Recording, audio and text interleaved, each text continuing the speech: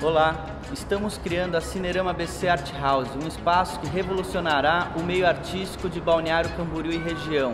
Serão cerca de 500 metros quadrados compostos de um salão de eventos para quase 400 pessoas, uma sala de cinema, um espaço de coworking dedicado, tudo que você precisa também para produção, um estúdio de filmagem, uma sala de finalização e é um espaço que a gente está criando para unir o público que vem fruir das obras e o criador das obras que pode tornar esse espaço em um espaço de criação, onde ele vai desenvolver o seu projeto artístico. Nossa programação será repleta de apresentações, oficinas, debates, e todo tipo de evento que possa trazer as mais variadas formas artísticas, como a dança, a música, o teatro, as artes plásticas, as artes visuais, enfim, todas as artes serão bem-vindas aqui no Cinerama ABC.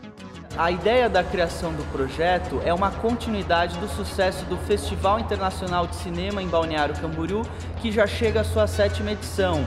Mas nesse período eu notei que existia ausência de um espaço que fosse é, fixo, que não acontecesse só duas semanas ao ano, como é o caso do festival. Então aqui a gente vai continuar trazendo o que tem de melhor qualidade e entretenimento e continuando estimular a inovação, inclusão social e a produção artística aqui na região. Uma das preocupações foi dar continuidade a um pouco da história do cinema. Para isso a gente foi a São Paulo, na antiga sala de cinema Gemini, e trouxe todas as poltronas de uma das salas para instalar aqui na Art House Cinerama BC. As obras aqui já começaram. Precisamos da ajuda de todos vocês. Apoiem essa ideia.